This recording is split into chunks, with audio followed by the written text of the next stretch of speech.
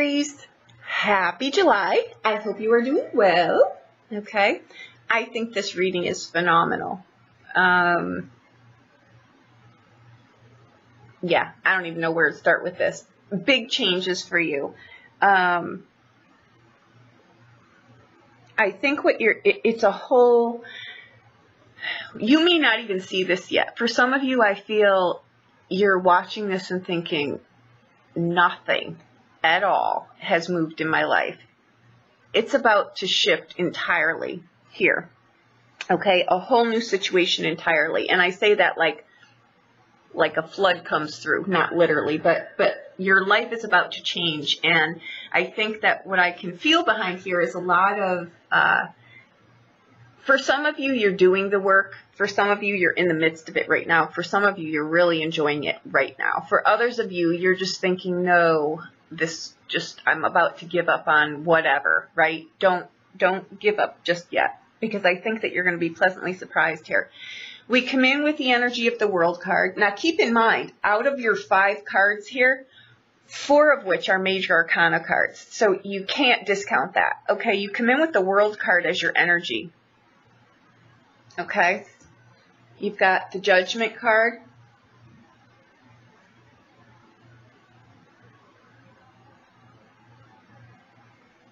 Okay, you've got the Empress card, who looks a little frazzled here. I feel, though, frazzled in a good way. And here comes trouble, right? I don't feel so in here. I really don't. I think that um, it's a it's a welcomed, it's a breath of fresh air in here. Let's just pray that it goes that way. And then we've got the devil card in here, right? And with him, it can always go one of two ways. But keep in mind, the devil card and the lover card, they're very, very similar. That's why I'm saying never discount every part of you. You know what I mean? Because we need all of those parts. So I'm not going to get on a tangent this month. I think it's really great. I also pulled romance and love card, financial cards, health card, and your um, your overall uh, oracle card, which is the book, and it's great. Okay, now what I think is going on here, I can't discount the fact that we have a lot of tens in these numbers, and we've got a five, um, which would account for the frazzled empress here okay? And it would also be a welcome um, Knight of Swords, right? Uh, getting things on the road, getting things balanced. I'm not real thrilled that he's sitting next to the Devil card, though. So what I want to say to you is don't let your pendulum this month swing from all the way, example would be like all the way on empty to all the way on full, then all the way to empty, then all the way to full. Aries has a tendency to burn themselves out. Like literally the car is chugging along on absolutely no fumes left whatsoever. And then they crash and then they need to revitalize and get back up again. You want to keep a middle ground here. I think you're very, very sensitive right now to um, energies. And I think that your, your body is picking up on a lot of this stuff too. Keep in mind that uh, the nervous system gets affected by all of these things too, right? I think in a really great way. I think that you're, if you're if you don't have vitality right now, you absolutely will. And that's what the book can speak of too, is vitality, all right? I really feel like your life is coming into a whole new uh, situation as a whole, like a brand new book is coming in here, okay? Um, I think that anything that you feel that you're lacking, my advice to you here is you are enough, okay? And you need to be the part of yourself that you think is missing, right?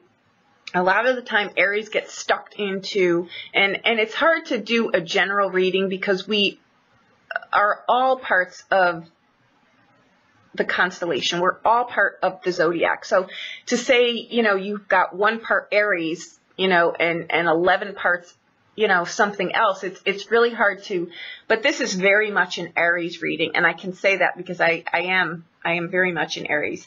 So it's that always going on but never having a drop spot. You know what I mean? But then it's like that paralyte, like, ooh, I'm stuck because I don't want to leave the good that I've got, but I really, really want to go see what else there is. You know what I mean? So it's that paradigm shift there that causes the real, okay, well, five, four, three, two, one, I'm running. You know what I mean? And then you stop. So it's it's that's what we kind of want to get away from in here. I know that was a, you know, a, a dramatized view of that, but but but that's kind of after a while, it's kind of disheveling. It's what it feels like. Okay. So again, I think in here too that there are areas that you need to take a little bit more seriously, right? Like choices or decisions or circumstance or whatever that sometimes we just don't have time to deal with it or we don't think we have time to deal with it or we just don't want to deal with it or or whatever. And it doesn't need to be a negative, a positive. It's just something that we know we need to give our attention to, but eh, for whatever reason, we're just not doing it, right? But in hindsight, we're like, oh crap, we probably should have paid more attention to that and, and took the bull by the horns at the time because now it's kind of like run amok.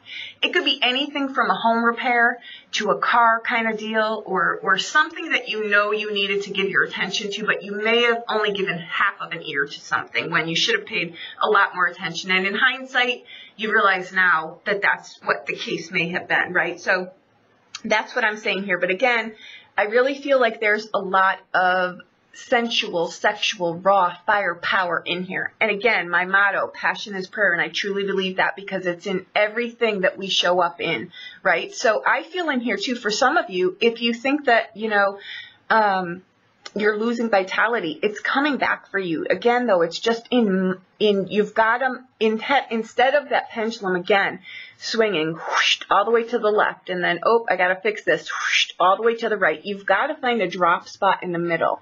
Get yourself an hourglass. They're, they're really inexpensive. Plop one on your nightstand or wherever you take a couple minutes to, to, to ground yourself. And I would strongly suggest that you do that. It really does work. I never suggest anything that I haven't test driven myself. Okay, so so that's what I would say. For some of you also, like I say, there is an air through here of uh, pregnancy for sure. Okay, so if you know whatever arena that sits in for you, just be aware of that. It sits in here. If you're saying to me, well, we've been trying to get pregnant forever and it's just not happening, you would be pleasantly surprised that the door is opening in here. Again, not a doctor at all, but I would strongly suggest that you not lose hope in something like that because it sits in here for sure. Okay. Um, now, the devil card, again, I really think is bringing more passion into your life, bringing more joy into your life in a balanced way. If you notice, his numbers are a 10 and a 5. Okay? And again, the devil card is not a negative unless we're not balancing that energy. And a 5 is just saying you need to give something, um, you need to look at how you're doing something, how you're showing up for something. And the 10 is saying you need to give it more attention right? That's all it's saying. Or it becomes an internal struggle. That's all. The devil card is not a negative card. It's a card in, in here, it's not. Unless you make it that way. And I'll get into that with the, the romance part here, which I'm glad to see. And if you're single and flipping me off right now, stay tuned. I'm, I'm going to tell you how this, this plays out for you. Um, again, I really think that the Knight of Swords is really just, it's the, it gets you going. It's vitality. I feel like stuck energy in here, but then I feel like it gets going. You may get an aha moment in here, okay, that gets you going in a different direction. Um, it may be to the missing link to something that hasn't worked in the past. Um, and now it, it gets the show on the road in here. Again, your message coming in was entirely new situation here, entirely a new situation here. So it's letting things go that need to be let gone, let be, be bygones, be bygones, and let things come forward that uh, need to come forward and release the control on it. Really, just release the control on it. July is a month, really, where you just want to sit.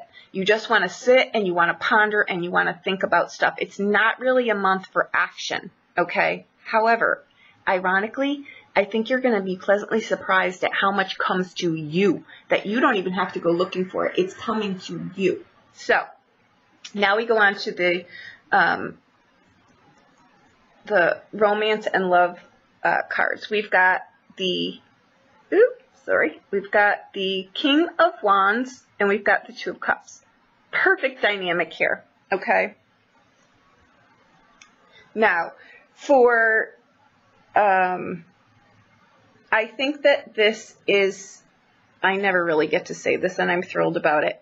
It's a, a whether you're coupled or single, there is your romantic future is on fire. And by that I mean solid. I don't just mean excitement. I mean it's solid. It's built on something solid here. You do not, with that King of Swords there, want to blow through the village here. Okay, you want to go really slow because for those of you that are in a relationship, I think your relationship gets, it takes on a new flavor. It gets some revitalization. It gets uh, an upgrade. It gets, um, it's solid. Okay, so don't worry about that in here. That's why I'm saying you want to do some stuff on yourself though as far as vitality goes because you're going to pull in um, more vitality to you. Okay, now again, if you haven't met someone yet, you soon will. So don't give up hope on that. Okay, and I think that you will absolutely know this person when you meet them. Remember, these cards, guys, are not blow through the village cards. They're slow moving cards. Don't move fast on this. If you're single and you're listening to this, you do not want to go fast on this. That's where that devil card could blow this whole thing up for you with that knight of wand, knight of swords there, okay?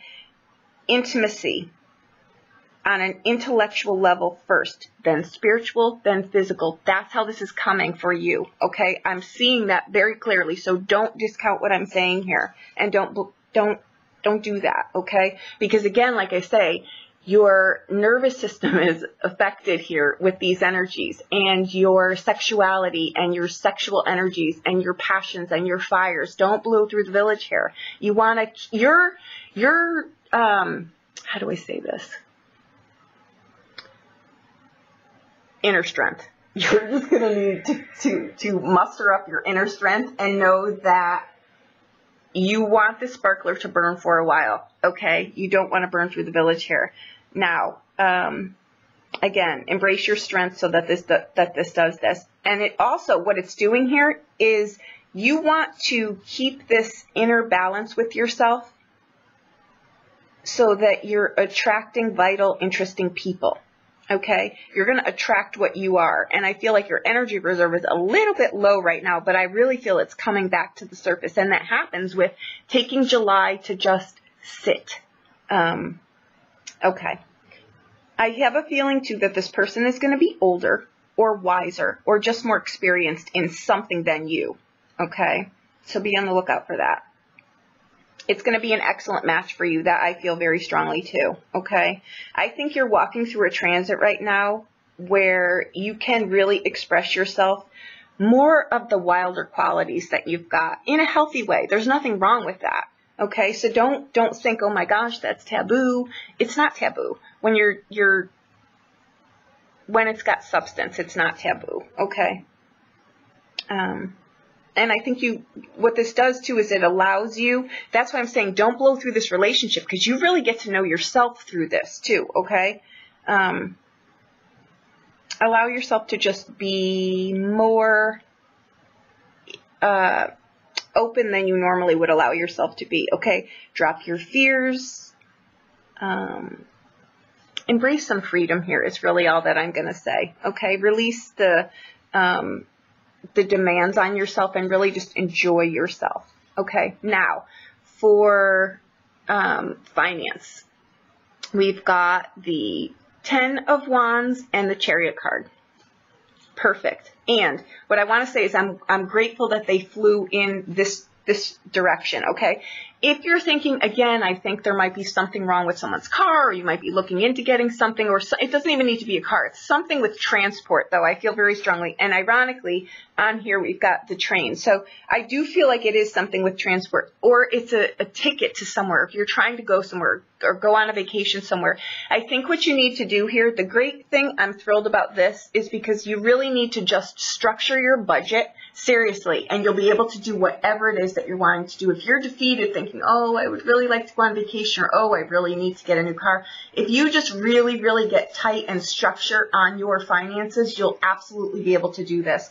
And there's finance coming in here for you too, okay?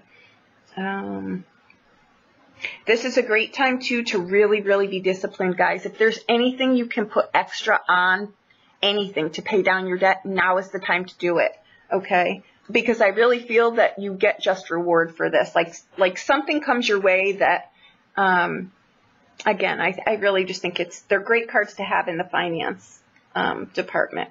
Again, though, you've got to do your part here, and I really feel that things come in for you. All right, now on the health thing, this was what I wasn't real thrilled about, and this is where I kind of feel that your vitality may be may be squashed, and you may have flipped me off in the relationship read back here. But, but have no fear. Okay, we've got the nine of swords, but we've got the ten of coins too. Okay. What I feel with that is I think you need to analyze an experience in your life very carefully. I think you may be not able to let something go.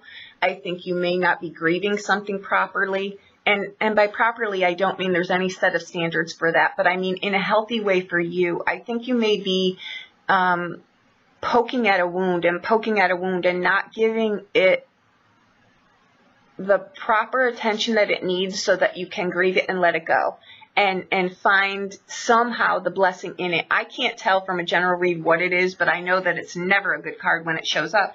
But it's usually something that we just can't let go of. It's grief or it's um, you know, maybe you did something that you feel really bad about. We learn as we go, guys. Cut yourself some slack, um, and and and just just it's it's depression is what I feel. It's very uh, it's it's not a great energy. It's grief, maybe sucking you dry. You know, it may be a person that's doing this to you. But usually with that nine of swords, it's something though that you want to get a handle on. Okay. Um, and do that because remember that these things come in spurts and then they pass. We just we we want to let them go when when we need to let them go. Okay. Um, I I really just just feel though that you're reliving something over and over and over again. Um, because that's the energy I feel like a lull and then a high and a lull and a high, and that's not great. Okay. Instead, grieve it and then find a way, a process for yourself to let it go. Sometimes that's just writing a note, putting it on paper. It gets it out of your head, honestly.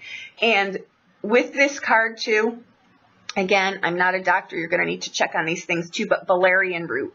Valerian root is all natural. It helps you sleep. You may not be able to sleep because you're beating yourself up over something. But um, what I want to say here is that with this 10 of coins, happiness is in your future. So whatever it is that you're going through, I assure you, the difference a day makes will be monumental because that 10 of coins is a card of the future and it's happiness. And right next to it, we've got the book. This is vitality. So whatever it is that you're going through here, it will pass. But you've just got to give it the attention that it needs. This whole reading is phenomenal. But what it really speaks of is put your attention and your vitality to the things that really matter. And only you know what that is, right? And then let the things go that really need to be let go. Ask for that as well because that's what's happening here. You've got amazing cards in here. You've got four major arcana cards. That's huge. This is phenomenal. It's it's really a card though of just let me do what I can do and let me let the, the rest go and be pleasantly surprised, guys. I'm telling you, these eclipses are nothing to be afraid of. They're really not. And then then just be open to what comes to you. I assure you, you will be pleasantly surprised and and the effort involved will be nil but this needs a little bit of attention and you want to balance this out. You want to set yourself free here, right? But you want long-term sustainability. You don't want disposable things, right? If you're in a current relationship, I'm going to say this to you. Um, we need to get out of the, uh, if you're saying, well, nothing is really exciting in here, I'm going to show you how to flip that switch right now. Stop texting your partner a thousand times a day. Stop talking on the phone a thousand times a day. Save your conversations for a time where you're actually sitting in front of each other engaging, right? Where you're actually longing to see the person, where you actually miss the person. Not when someone gets home or they pass you or you're sitting across from the table with nothing to say because you've spouted out in little spurts during the day. You know what I mean? Divorce rates were a heck of a lot lower before all of this technology came into be you know, miss someone, desire to see them, you know, not wait till they get home, you know, wait, do things like that where you actually miss the person. Let them long for you, right? try to reinvent that kind of thing. I know a lot of you think I'm out of my mind, but I'm telling you these things work. So there you go. I hope that you enjoyed this reading.